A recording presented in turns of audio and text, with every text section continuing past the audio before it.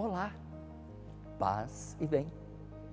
Eu, Frei David, Frei Capuchinho, com grande alegria estou aqui na TV Evangelizar para compartilhar com você uma história pela fé.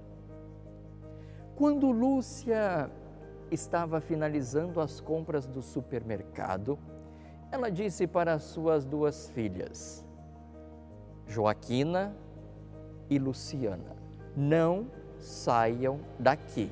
Mamãe vai terminar de pagar as contas da nossa compra e vocês não saiam daqui.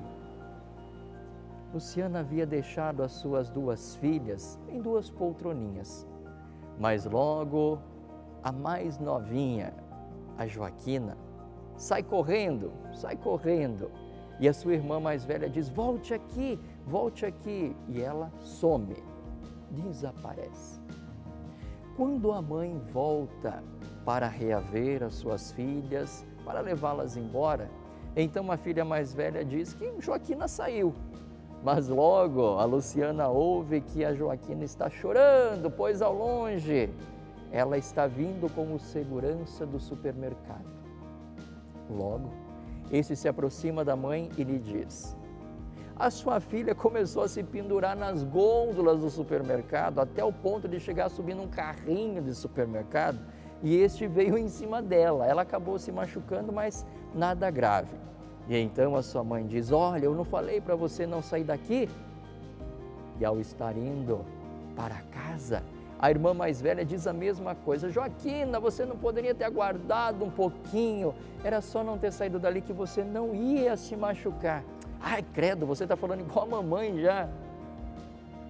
Meu irmão, minha irmã, quantas vezes nós também saímos da presença de Deus?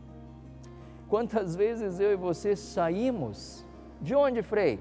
Do amor de Deus e ele nos disse: Não saiam daqui, permanecei no meu amor, permaneçam em mim, pois eu quero permanecer com vocês. Mas nós também muitas vezes queremos nos aventurar, queremos sair correndo pela vida e saímos da presença de Deus. E ao voltar, voltamos machucados, voltamos apenas precisando deste auxílio, deste amor. Se nós obedecermos a esse Deus, se nós permanecermos com Ele, muitas das nossas investidas que deram errado poderiam não acontecer. Muitas das vezes que nós quebramos a cara poderia ter sido evitado. Não saiamos da presença de Deus, permaneçamos neste amor. O convite que eu te faço com essa historinha não saia da igreja, não saia da presença de Deus, não saia desta misericórdia que todos os dias vem embalar a nossa vida. Não saiam daqui. Que Deus nos abençoe neste propósito. Paz e bem.